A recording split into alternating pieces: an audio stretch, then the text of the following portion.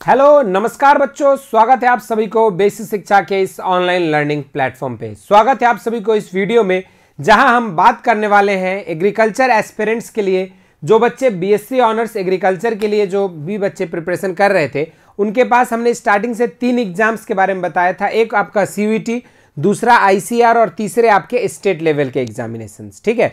लेकिन जो अभी एक रिसेंट अपडेट जो आपको सी डॉट डॉट इन जो हमारा सी का पोर्टल है 2023 के लिए, उस पर जो एक रिसेंट अपडेट आया है, वहाँ पर जो है आपका एक अलग से यूनिवर्सिटीज वाली सेक्शन में आपको आईसीएआर जो है आपको वहाँ पे देखने को मिल रहा है और उसमें आपके तमाम एलिजिबिलिटी क्राइटेरिया और सब्जेक्ट कॉम्बिनेशन वगैरह जो है उन्होंने वहाँ पे डिक्लेयर कर दिया गया है, ठीक है? तो इसका मतलब यही है कि इस बार से जो है आपका 2023-24 की जो सेशन है, उसके बाद से आपका आईसीएआर का एग्ज़ाम्स नहीं होना है और आईसीएआर जो अपनी एग्ज़ाम्स कराती थी वो अब सी के अंदर आ चुकी है। ये जो है मोटा मोटी अपडेट है और यहाँ पर आपको उस नोटिस में एक लाइन क्लियर देखने को क्या मिल रहा है बच्चों?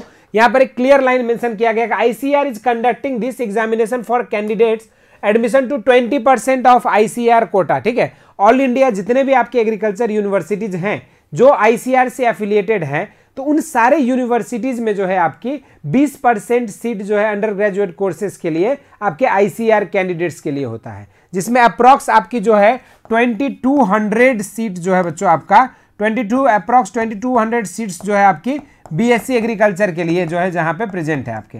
अलग अलग यूनिवर्सिटीज अलग अलग कैटेगरी वाइज अगर जोड़ोगे तो अप्रॉक्स आपका 2200 सीट के आसपास जो आपका बीएससी ऑनर्स एग्रीकल्चर के लिए था, जो आपका आईसीआर के थ्रू होता था। तो वो आपका 2200 सीट जो अलग अलग सेंट्रल एग्रीकल्चर यूनिवर्सिटीज हो, या आपके डिम्ड यूनिवर्सिटीज हो, या फिर आपके जो रिसर्च इंस्टीट्यूशंस हो सेंट्रल यूनिवर्सिटीज हो, जहाँ पे एग्रीकल्चर की फैकल्टी प्रेजेंट है, इन सब जगह पे जो है आपके जो एडमिशन्स होते हैं सब यूनिवर्सिटीज में आपके 20 परसेंट सीट जो है आपका आईसीआर कैंडिडेट्स के लिए होता है। तो वो जो 20 परसेंट सीट के लिए जो एग्ज़ाम्स होता रहा है this examination is substituting the ICR all India entrance examination for UG from the academic year 2023-24 अर्थात 2023-24 से, यानी कि इस साल से, इस वर्ष से जो है आपका आईसीआर के एग्ज़ाम्स को जो है सब्सटीट्यूट कर दिया गया है और सीयूईटी ने जो है उस एग्ज़ाम को सब्सटीट्यूट किया है। यानी कि जो भी बच्चा अब आईसीआर के थ्रू एडमिशन लेकर चाहता था कि अपने रिप्यूटेड एग्ज़ाम्स में यूनिवर्सिटीज में जाएँ, उन सभी के लिए जो है आपको रास्ता यहाँ पे सीयूईटी के थ्रू जो है खुल गया है।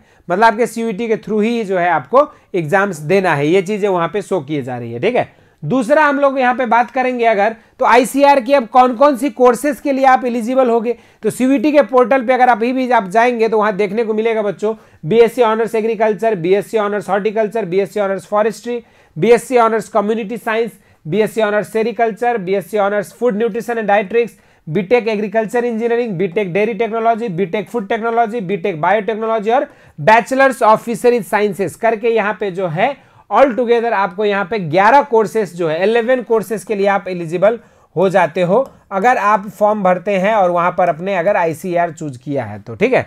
अब आपके 11 अलग अलग कोर्सेज के लिए भी जो है आपके सीवीटी के ही इकलौता एग्ज़ाम देकर आप इन 11 कॉलेजेस 11 अलग अलग कोर्सेज के लिए आप अलग विभिन्न यूनिवर्सिटीज में ऑल इंडिया की आईसीआर से एफिलिएटेड यूनिवर्सिटी के लिए आप एलिजिबल हो जाओगे, ठीक है? तो ये चीज़ आपका एक महत्वपूर्ण अपडेट था। अब तीसरा जो अपडेट था बच्चों, वो था कि आपको कौन सा सब्जेक्ट लैंग्वेजेज क्या आपको चूज़ करना होगा, है ना?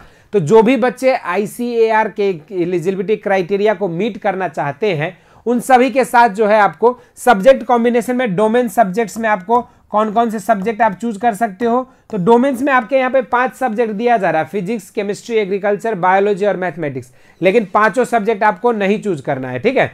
पाँचों सब्जेक्ट आपको जो है नहीं चूज़ करना है। क्यों आपको पाँचों सब्जेक्ट नहीं चूज़ करना है? क्योंकि यहाँ पे जैसे हमारे पास तीन अलग अलग विधा के स्टूडेंट्स होते हैं। जैसे एक होता है आपका ट्वेल्थ पीसीबी वाला, जिन्होंने ट्वेल्थ में पीसीबी किया है। एक होता है बच्चा जो ट्वेल्थ में आपका पीसीएम किया है, ठीक? और एक होता है बच्चा जो ट्वेल्थ में हमारा एजी पढ़ा है, ठीक? एग्रीकल्चर तो ये टोटल आपके तीन तरह के बच्चे के समूह जो है, वो है जो आईसीआर का एग्ज़ाम देता है। अब उनको कौन सा सब्जेक्ट चूज़ करना चाहिए? तो भैया जो पीसीएम वाले हैं पीसीबी वाले हैं, वो पीसीबी तो चूज़ करेंगे ही, है ना? उसके बाद आपका जो पीसीएम वाले हैं, वो पीसीएम चूज़ करेंगे। जो ट्वेल्थ एग्रीकल्चर वाले हैं, वो या तो पीसीए चूज़ करें, या तो वो पीसी एबीसी चूज़ करें, है ना? पीसीए या एबीसी चूज़ करें। तो ये उनको चूज़ करना है। ये कौन सी क्राइटेरिया के हिसाब से? C U T I C A R की अगर बात करेंगे तो सी यू टी से जो आई सी आर मांग रही है, वो कह रही है कि जिस भी आपने ट्वेल्थ किया है, उसी हिसाब से आपको देना होगा। और आपका जो सीयूटी के थ्रू अदर एग्रीकल्चर यूनिवर्सिटीज़ है सी के थ्रू जो अदर एजी यूनिवर्सिटीज़ हैं, वो आपकी क्या बोल रही है है ना? इस चीज़ को भी तो आपको ध्यान देना पड़ेगा। तो वो क्या कह रही है आपको कि जैसे आप यहाँ पे पीसी बी दे सकते हो और एग्रीकल्चर एक ऐड कर लो, है ना? दूसरा आपका पीसीएम और ए कर लो ऐड है ना? उसके बाद आपके जो है पीसीबी ए कर लो ऐड इस तरीके से आप अपने सब्जेक्ट कॉम्बिनेशन चूज़ करिए। ठीक? अब कहोगे, सर जनरल टेस्ट और ये भी देना है क्या? लैंग्वेजेस भी देना है क्या? तो अगर आप सिर्फ़ यही एग्ज़ाम टारगेट कर रहे हैं तो आपको कोई लैंग्वेज और ये सब देने की ज़रूरत नहीं है। लेकिन जो हमारे ट्वेल्थ मैथ बैकग्राउंड के और जो ट्वेल्थ बायो बैकग्राउंड के बच्चे हैं, वो आपका BSc honours physics chemistry mathematics biology के लिए भी एलिजिबल होते हैं। तो अगर उनको उसमें अपनी यूनिवर्सिटीज़ की लिस्ट बढ़ानी है, अपने ऑप्शंस को बढ़ाना है तो जो हमारे ट्वेल्थ साइंस वाले बच्चे होंगे ट्वेल्थ पीसीबी या पीसीएम वाले हैं, उनको जो है आपका जनरल टेस्ट और आपका जो है लैंग्वेज भी चूज़ करना चाहिए, ठीक है ना? और जो हमारा ट्वेल्थ एजी वाला बच्चा है, उसको जो है वनली डोमेन सब्जेक्ट्स चूज़ करना चाहिए वनली डोमेन चूज़ करना चाहिए। क्योंकि उनको जनरल टेस्ट और लैंग्वेजेस के थ्रू जो है आपको बहुत ज़्यादा यूनिवर्सिटीज़ आप बीएससी और सिंपल बीएससी ऑनर्स के लिए एलिजिबल हो नहीं तो इसीलिए आपके पास सिर्फ़ आपको डोमेन सब्जेक्ट्स की तैयारी करनी है। तो ये आपको एक क्लियर प्रारूप आपको यहाँ पे तैयार करके बता दिया, हमने एक मैप बता दिया कि आपकी क्या क्या मैपिंग होनी चाहिए आपको सब्जेक्ट चॉइस को लेकर। अगर आप जिस भी कैटेगरी से बिलोंग करते उस हिसाब से अपनी चूज़ कर लो। और अगर आप चाहते हो कि मेरे लिए स्कोप बढ़े तो उस हिसाब से अपनी सब्जेक्ट चूज़ ज़्यादा करिए, ठीक? अब बात हो रही है eligibility criteria for the program यानी कि सीयूईटी के थ्रू आईसीआर का आईसीआर के थ्रू एलिजिबल कौन कौन से कैंडिडेट्स हैं, उसकी बात करते हैं। सबसे पहला candidate should have pass twelfth ten plus two examination उसका पास होना चाहिए, ठीक है? बारह साल में, और आपका फिफ्टी परसेंट मार्क्स एग्रीगेट में होना चाहिए। किसके लिए? जनरल ओबीसी यूपीएस और ईडब्ल्यूएस के लिए आपका पचास प्रतिशत मार्क्स एग्रीगेट में होना चाहिए। और दूसरा जो कैंडिडेट है एस सी थर्ड जेंडर और पीडब्ल्यू उनका चालीस परसेंट होना चाहिए। मतलब कुल मिला के आपको पचास परसेंट नंबर जो है आपका पास होना चाहिए ट्वेल्थ। और पास होना ही नहीं, साथ में जिन्होंने इस बार अगर ट्वेल्थ का एग्ज़ाम दिया है, वो भी एलिजिबल, अपियर्ड भी यहाँ पे दिया हुआ है। तो जो हमारे अपियरिंग कैंडिडेट्स है, वो भी एलिजिबल होंगे और जो हमारे पास आउट कैंडिडेट्स है, वो भी एलिजिबल होंगे। दूसरा महत्वपूर्ण बदलाव जो इन्होंने लेकर आया है, वो है student should have studied and pass the subject और combination PCM PCB PCA etcetera बोला है तो इसमें एबीसी ऐड कर सकते हो for entrance examination during twelfth standard और candidates will not be allowed ये will not be allowed to appear the subject combination different than the one which she or he has studied and passed in the twelfth standard यानी कि जिन बच्चों ने twelfth में PCB से दिया है, वो आईसीआर की काउंसलिंग पीसीबी से ही करा पाएँगे। ये जो है मेजर बदलाव आया है। जो लास्ट ईयर देखते थे तो उसमें आपकी इस तरह की कोई चांसेस नहीं थी। पीसीएम वाले पीसीए से भी काउंसलिंग करा के हमारे ही स्टूडेंट्स कई जगह पढ़ रहे हैं। अभी आई में भी पढ़ रहे हैं। लेकिन इस बार जो है उन्होंने इसी चीज़ को थोड़ा सा जो है बदलाव किया है। तो ये बहुत बड़ा मेजर बदलाव है आपके आईसीआर के एलिजिबिलिटी क्राइटेरिया में फॉर सीयूईटी तीसरा आपका Indian national of at least 16 years of age होना चाहिए। On the date of examination जिस डेट को आप एग्ज़ाम दे रहे हैं सीयूईटी का, तब तक आपका जो है एज 16 साल का हो जाना चाहिए। मिनिमम एलिजिबिलिटी क्राइटेरिया उसकी ये कह रही है एज के मैटर में। उसके बाद आपको यहाँ पे क्या दिया गया है? For more details please visit आपका कहाँ पर? ICR dot O R G dot in उस पर आपकी आईसीआर की इन्फॉर्मेशन बुलेटिन 2023-24 के हालाँकि अभी तक जो है इस साइट पे आपकी इन्फॉर्मेशन बुलेटिन आई नहीं है। जैसे आएगी तो फिर और भी डिटेल में हम लोग बातें करेंगे, आपके साथ वीडियो शेयर करेंगे।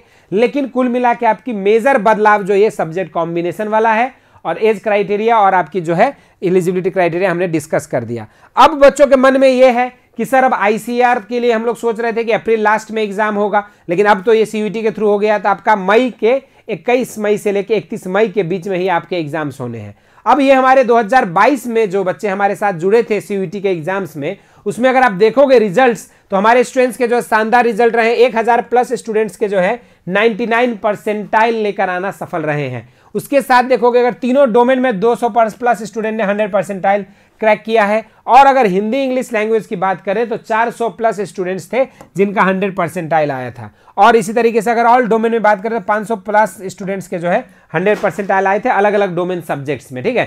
तो ये हमारा स्टूडेंट्स का रिज़ल्ट है, जिसके थ्रू अभी अगर बात करें तो भारत के हर एक कृषि विश्वविद्यालय हरेक आपके विश्वविद्यालयों में जो है हमारे पढ़ाए हुए छात्र जो है सेलेक्ट होकर अभी जो है चयनित होकर अपना ड्रीम यूनिवर्सिटी तक पहुँच पाए हैं। अब जब कि सीयूटी और आईसीआर एक ही एग्ज़ाम हो गया है तो मैक्सिमम बच्चों के अंदर डाउट है कि सिलेबस क्या होगा, कैसे होगा। तो भैया सिलेबस सिर्फ़ और सिर्फ़ आपको ट्वेल्थ पढ़ना होगा, जिसके लिए हम लोगों की जो बैच है, आपका योद्धा बैच वो आपका कल के डेट से शुरू हो रहा है। एक मार्च से जो है बच्चों, आपका योद्धा बैच में पूरी लाइव क्लासेस जो आपकी शुरू हो रही है एक मार्च से। और ये जो बैच है, आपकी बाईलिंगुअल बैच है, यानी कि हिंदी, इंग्लिश, दोनों माध्यम में पढ़ाया जाएगा आपको। और साथ साथ आपको जो है यहाँ पे चैप्टर वाइज टेस्ट और डीपीपी भी दिया जाएगा, जो कि स्ट्रिक्टली बेस्ड होने वाला आपकी एनटीए की पैटर्न में। जिस पैटर्न पे आपका एनटीए नेशनल टेस्टिंग एजेंसी अपनी एग्ज़ाम्स करवाती है, उसी पैटर्न पे बेस्ड होकर जो है आपका यहाँ पे डीपीपी और टेस्ट आपको अवेलेबल होने वाला है। इतना ही नहीं, इसके साथ साथ आपके क्लास नोट्स और इंटरेक्टिव लाइव क्लासेस मिलेगी बच्चों यहाँ पे, जिसके कारण क्या है कि आप इंस्टेंटली अपने जो मेंटर्स होंगे, उनसे अपनी डाउट्स को क्लियर करवा पाओगे। साथ में आपकी रिकॉर्डिंग्स जो होंगे, वो आपका ट्वेंटी फोर अवेलेबल रहेगा टिल एग्ज़ाम के आखिरी डेट तक आपका ये सारी चीज़ें अवेलेबल रहेगी। और सबसे बहुत महत्वपूर्ण बात यह है कि जो आपको पढ़ाया जाएगा योद्धा बैच में, वो बिल्कुल एक स्ट्रक्चर्ड फॉर्म में 50 दिन का ये हमारा फास्ट ट्रैक कोर्स है, जिसमें आपको बिल्कुल 50 वीडियोज़ के अंदर जो है पूरी एग्रीकल्चर, पूरी फिजिक्स, पूरी केमिस्ट्री, पूरी बायोलॉजी, पूरी मैथमेटिक्स, इस तरीके से आपको अलग अलग सब्जेक्ट्स की जो पूरी कंप्लीट पैकेज जो है बच्चों आपके लिए, वो 50 लेक्चर में यहाँ पे तैयार किया गया इस बैच में बिल्कुल लाइव बैच है और आपकी बाइलिंगुअल बैच है। और फास्ट ट्रैक बैच है जहाँ पे 50 लेक्चर में आपकी सीयूटी क्रैक करके आपके आईसीआर के थ्रू जितने भी कॉलेजेस है। सोचो, अब एग्रीकल्चर एस्पिरेंट्स के लिए जो है, पच्चीस सौ से प्लस सीट हो गया है सिर्फ़ बीएससी ऑनर्स एग्रीकल्चर के लिए। और एकलौता एग्ज़ाम देना है आपको, यो है सीयूटी एग्ज़ाम तो इस सभी के लिए आप लोगों को जो भी बच्चे इंटरेस्टेड हैं और आईसीआर या सीयूईटी जिस भी कॉम्पिटेटिव एग्ज़ाम्स की तैयारी करके किसी एक रेप्यूटेड कॉलेज में आपका आईसीआर एफिलेटेड कॉलेज में अगर एडमिशन पाना चाहते हैं तो उन सभी के लिए जो है योद्धा बैच बहुत ही ज़्यादा फ्रूटफुल होगा और इस बैच में आपके सारे सब्जेक्ट्स पढ़ाए जाएँगे। जनरल टेस्ट लैंग्वेज डोमेन सारा चीज़ जो आपको कंपेल कराया जाएगा, वो भी पर सब्जेक्ट आपके 50 लेक्चर्स में। तो इसलिए आप लोग के लिए ये ज्वाइन कर सकते हो। और दूसरा इंपॉर्टेंट बात क्या है कि आज इस बैच में इनरोल होने का आपका ऑफ़र का लास्ट डेट है, जो बैच आपका पच्चीस सौ रुपए है, वो आप जो है सीवीटी कोड यूज़ करके केबल और केबल आप दो सौ रुपए में जो है, दो हज़ार रुपए में सॉरी परचेज कर सकते हो। यानी कि आपके पास 500 का डिस्काउंट हो, जो कि आज लास्ट आज ही तक जो है ये वैलिड रहेगा ये ऑफ़र तो आप सभी के लिए अच्छा न्यूज़ भी है कि आईसीआर और सीयूटी दोनों के लिए अब आपको अलग अलग इलेवेंथ ट्वेल्थ पढ़ने की बहुत ज़्यादा मेहनत करने की ज़रूरत नहीं है। एक कॉमन एग्ज़ाम के थ्रू आप जो है क्वालिफाई कर सकते हो। तो आपके सब्जेक्ट कॉम्बिनेशन जो आपको मैंने बताया, उस तरीके से अपने सब्जेक्ट कॉम्बिनेशन को चूज़ करना है और आपके फॉर्म्स भर के जो है योद्धा बैच में अपनी सीयूटी की तैयारी करनी है। इससे अलावा और भी जैसे रिसेंट अपडेट्स आता है आईसीआर सीयूटी जैसे एग्ज़ाम्स को लेकर तो आपके साथ आते रहेंगे और शेयर करते रहेंगे। अगर आप लोगों को लगा कि ये वीडियो जो है आईसीआर एस्पिरेंट्स और सीयूटी एस्पिरेंट्स के लिए हेल्पफुल है तो इसको ज़रूर से सारे स्टूडेंट्स तक फैलाइए, ताकि जो भी बच्चे भ्रम में है कि कैसे परेशान है, कि कैसे सब्जेक्ट होगा, क्या एग्ज़ाम होगा आईसीआर वगैरह का तो सभी की डाउट्स जो है आपका इस एक वीडियो के मार्फत से क्लियर हो जाएगा।